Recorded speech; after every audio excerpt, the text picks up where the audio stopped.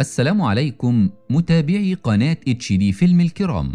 يبدو الخطأ كبيرا جدا عندما يرتكبه الآخرون فقط. وبيبدأ فيلمنا مع مجموعة من الناس وهم بيعملوا مقابلة في سجن الحفرة. وواحد من الناس دول اسمه زمياتين وده جاي هنا بعد ما حاول يولع النار في بيت أهله. وكل واحد بيقول على نوع الأكلة المفضلة بالنسبة له لأن الحفرة عبارة عن طبقات كتير والموضوع كله بيدور حوالين الأكل. ولما بيفوق زمياتين ومنصة الأكل بتوصل الطابق بتاعه بيتصدم إن حد أكل البيتزا بتاعته. فبيبقى عاوز ياكل حاجة تانية لكن الناس اللي في الطابق اللي فوقه بتمنعه. وبيعرفوه إن في قانون هم عاملينه علشان الأكل يوصل للطبقات كلها. واللي بتبقى عبارة عن 333 طابق وزمياتين في الطابق ال 24 حاليا. وبيعرفوا الراجل اللي فوق إن كل واحد لازم ياكل أكله بس علشان الأكل يوصل لكل الطوابق والكل ياكل. وأكيد هيعرفوا مين اللي أكل البيتزا بتاعته وهيتعاقب. بس زمياتين مش بيهتم وكان هياكل لكن البنت اللي معاه في الطابق واللي اسمها بيلا بتمنعه. وبتقول له إن الراجل عنده حق وبتدي له حتة من الأكل بتاعها علشان يوافق. وبيفهم زمياتين إن القانون ده السجناء هم اللي عاملينه مش الإدارة. وبيأكد له الراجل إنه محظوظ أساسا علشان عايش في الطابق ال 24 لأنه في ناس في المستويات الأدنى مش بيوصل لهم أكل. وكل شهر الطابق ده بيتغير يعني ممكن الشهر اللي جاي يلاقي نفسه في طابق تحت جدا. ساعتها يتمنى النظام ده يتطبق بالعدل علشان الكل يوصل له وبتبقى بيلا داخلة الحفرة بإرادتها علشان عايزة شوية وقت تنسى فيهم اللي عملته. وبالليل بيبدأ التواصل بين الطوابق وبيعرف الكل إن الاتصال اتقطع عند الطابق ال 24 وما يعرفوش إذا كانوا التزموا بالقانون ولا أكلوا أكل مش بتاعهم. وبيفتكر زمياتين المقابلة بتاعته وبنعرف إنه حاول يولع في بيت عيلته لكن تراجع على آخر لحظة. ورغم كده سله القمامة ولعت فقرروا يبعتوا زمياتين للحفرة لأنه بقى خطر حتى على نفسه. وتاني يوم بيقف هو وبيلا يستنوا منصة الأكل. وبيعرف إن في ناس بيعاقبوا الراجل اللي أكل البيتزا حاليا. وبيسمع الكل فوضى بتحصل في الطابق فبيطلب الراجل اللي فوق من زمياتين وبيلا يجهزوا نفسهم للقتال. فبيقلق زمياتين لأنه مش بتاع مشاكل لكن بيلا فورا بتخلع حديدة من السرير علشان تدافع عن نفسها. ولما بتنزل المنصة للطابق بتاعهم بيلاقوا عليها جثة واحد والراجل اللي فوق بينط على المنصة مع شخص تاني. لكن للأسف زميلته في الطابق ما بتقدرش ترمي الأكل اللي وقع من المنصة عندهم. وبنعرف إن الأكل لو فضل في الطابق بعد ما المنصة تنزل الجو بيبدأ يسقع أو يبقى حر جدا. وللأسف البنت ما بتلحقش ترمي الأكل والجو بيولع وبتتحرق حرفيا وبتقع قدامهم. فبيقف زمياتين مصدوم ومش عارف يتصرف لكن بيلا فورا بترمي الأكل قبل ما يموتوا هم كمان. فبيبص الراجل الثوري لزمياتين وهو متضايق وبيبقوا نجحوا في السيطرة على الشخص اللي كل البيتزا وبيربطوه.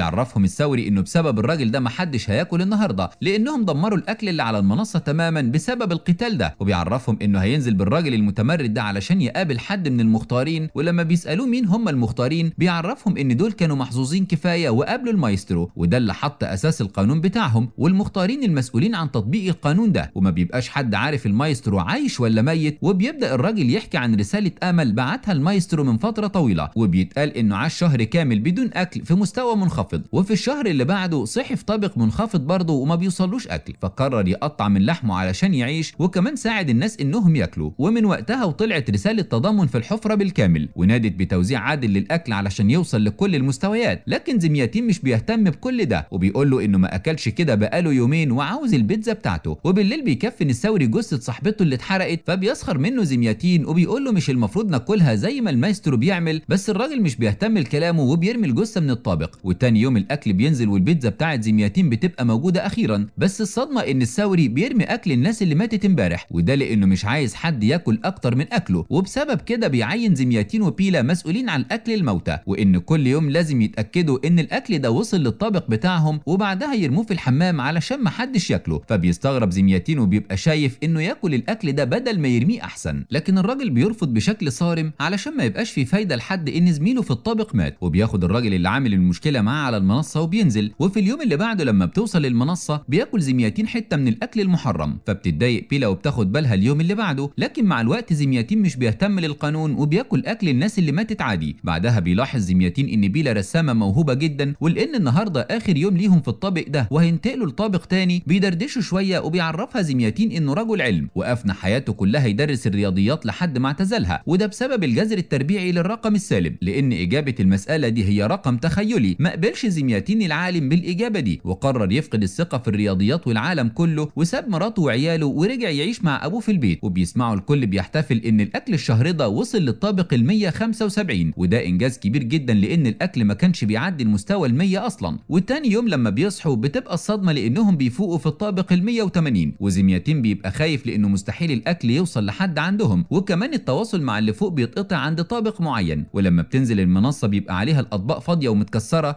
ويوم بعد يوم بيفضل زمياتين وبيلا ماسكين نفسهم من غير أكل فبيزهق زمياتين وبيفضل يشغل الولاعة بتاعته لحد ما بيتعب وبيرجع دم. وفجأة بيلاقوا راس واحد بتقع قدامهم علشان يفهم الكل إن المختارين أخيرا ظهروا وبيحموا الأكل من المتمردين حاليا. وبتفضل بيلا تهتم بزمياتين علشان يتعافى وبيتصدم الاتنين إن المختارين عرفوا إن في شخص ضخم أكل أكل الناس المتوفية. لكن بيلا بتعرفهم إنهم كانوا في مستوى مختلف علشان تداري على زمياتين. فبيخاف زمياتين جدا لإنهم أكيد مش هيرحموه لو عرفوا ان هو. علشان كده بيقوم بالليل يولع الولاعة بتاعته من تاني وبيقول لبيلا إنه جه هنا علشان يتعلم الانضباط لكنه فشل وأكل أكل مش بتاعه. ولإنه مش عاوز بيلا تتعاقب بسببه بيقرر يولع في نفسه بهدوء ومن غير ما يتألم. علشان يقع زمياتين وسط صراخ كبير من بيلا وهو مولع. ولما الشهر بيخلص بتفوق بيلا في الطابق ال 51 ومعاها بنت تانية. وبتبقى بيلا حادة جدا في التعامل معاها والالتزام بالقانون. ولما البنت بتلاقي أكلتها مش موجودة بتجبرها بيلا تستنى تاني يوم. وبيبقى في متمرد في المستوى ال 54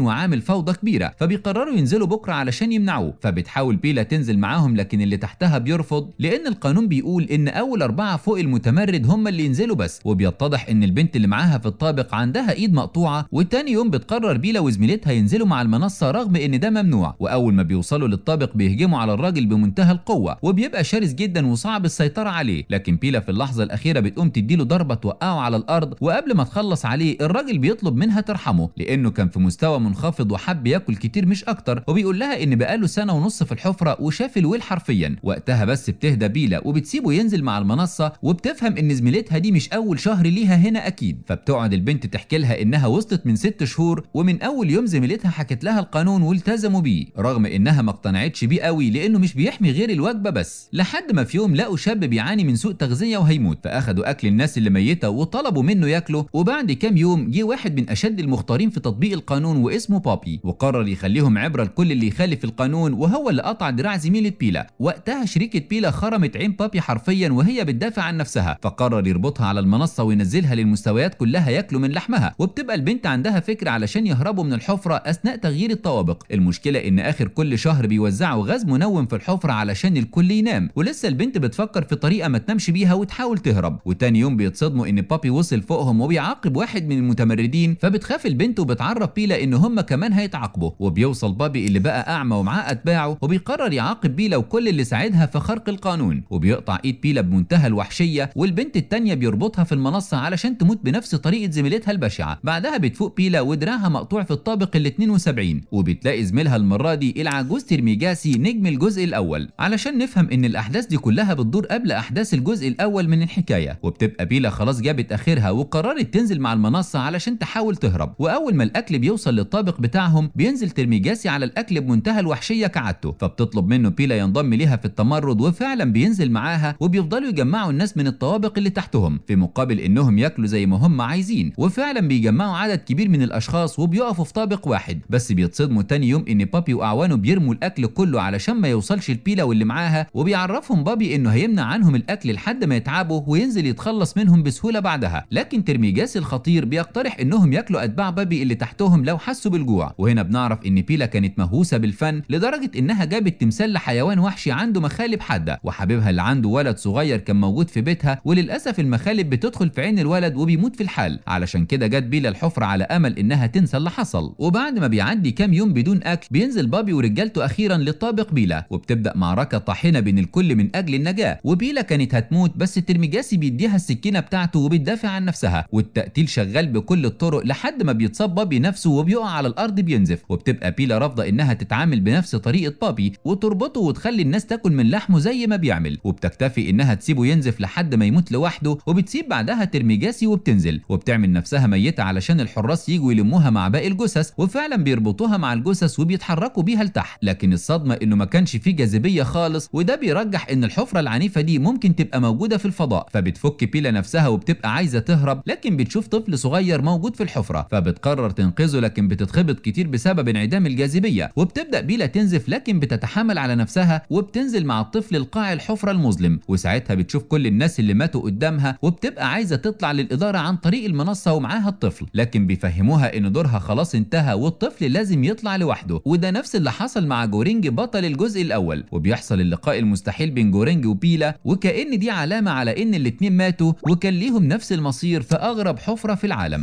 وبكده بينتهي فيلمنا النهارده. ما تنساش تدعمنا ب like وتكتب لنا رأيك في comment علشان توصل لك كل ملخصات HD Film.